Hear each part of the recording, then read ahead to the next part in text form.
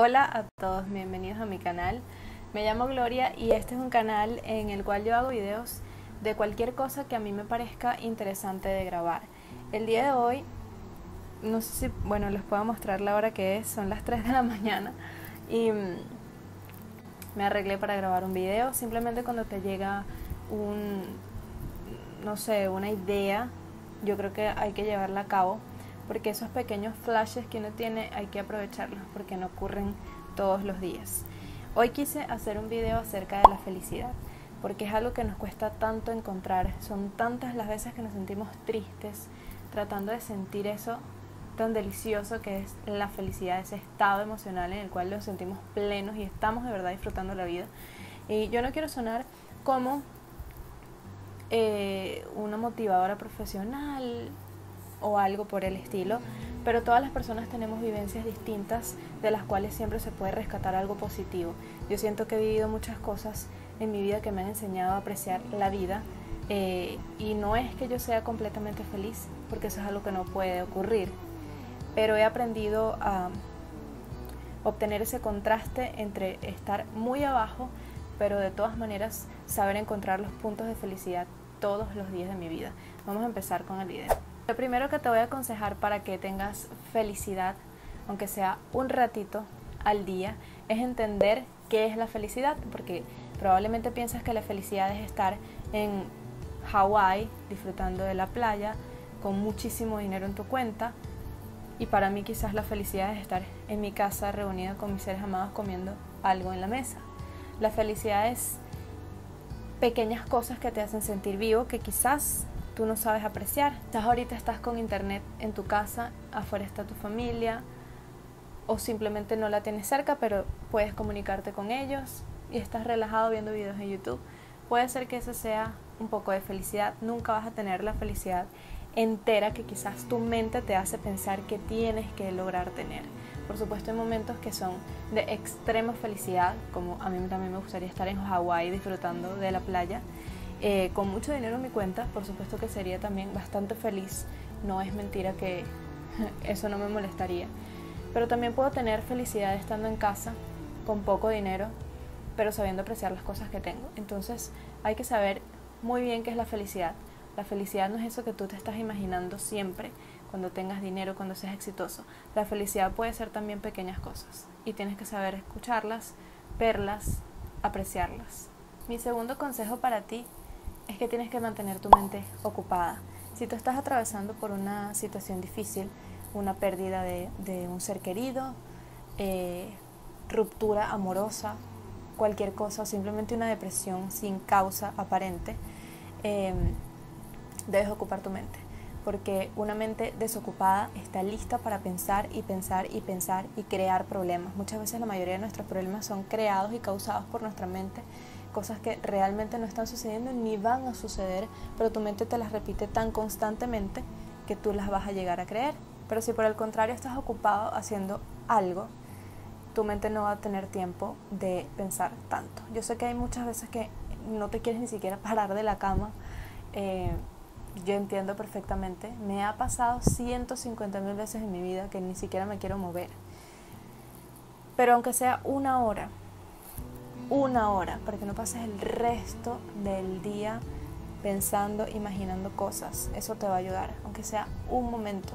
Te va a oxigenar la mente y te va a alejar un poco de esos pensamientos negativos que te roban la felicidad, literalmente. El tercer consejo que te voy a dar me causa mucha ilusión, siempre me hace revivir cuando estoy abajo y quiero sentirme feliz. Pienso en todas esas cosas que quiero hacer. Y ese consejo es tener sueños y tener metas que cumplir, trabajar por esas metas, no solamente tenerlas y dejarlas ahí, trabajar por tener metas. Una vida sin metas, imagínate lo triste que es. Aunque sea, no te estoy diciendo que tu meta sea comprar un yate, poner un negocio o pueden ser metas muy pequeñas, muy chiquitas, pero que te van a dar la motivación diaria que tú necesitas. Solamente enfócate en todos los días.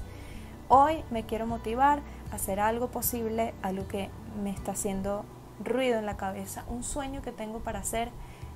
Ve videos, ponte a investigar cosas al respecto y eso te va a ayudar bastante. El siguiente consejo que yo te voy a dar, que a mí me funciona mucho, es consentirte y apreciar las pequeñas cosas de la vida.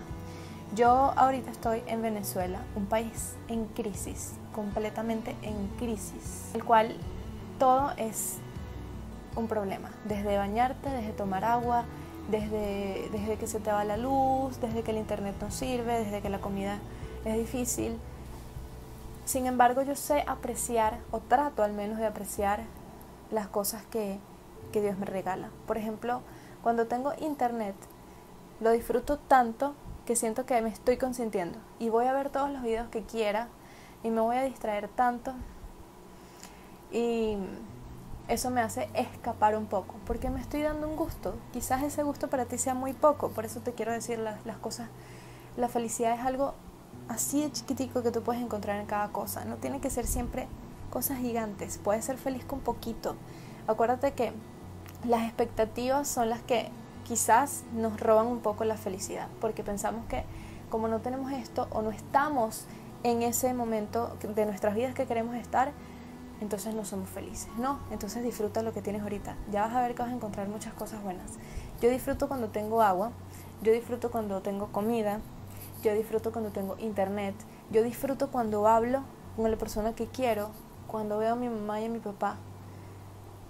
Crees que te estoy diciendo mentiras, pero no estuve lejos de mi papá y de mi mamá, no vivo con ellos, ahorita estoy acá con ellos y sé apreciar que es estar con ellos reunidos en la sala tomándome un café. Antes no lo hacía, antes era todo el día metida en el cuarto sin apreciar eso. Entonces, date cuenta de las pequeñas cosas que tienes, date un gusto, lo rico que es comerte algo que te gusta. Hoy, por ejemplo, me compré algo tan rico que me encanta, que es una pizza y un refresco y me encantó, lo disfruté demasiado, aunque me haya durado 10 minutos. Es un ratito de felicidad que tuve. Y por último, eh, yo soy una persona que cree en Dios. Y yo siento que es muy importante, desde mi punto de vista, creer en Dios. Y el consejo que te voy a dar es tener fe. Puede ser que tú digas, no, la fe no es para mí. Ok, eh, a todos nos llega nuestro momento. Yo, a mí no me gusta empujar a la gente hacia la fe pero sí me gusta dar consejos y mostrar lo que para mí es la fe. La fe me hace sentirme segura de que hay un Dios que me está cuidando a mí, de que hay un Dios que no me va a dejar caer. Por eso cuando yo estoy muy abajo, cuando yo estoy muy triste, muy mal, me reconforta muchísimo pensar que de verdad hay un Dios que está ahí conmigo. Gloria, esto va a pasar, no te preocupes, la vida es así. Estás arriba, estás abajo, estás arriba, estás abajo. Ahorita estás abajo, eso no va a ser para siempre. Dios está ahí contigo. Siento que es tan lindo tener fe, porque no te sientes solo, te sientes acompañado, eh, estás confiado, no te va a pasar nada malo, estás ahorita mal, pero no es para siempre.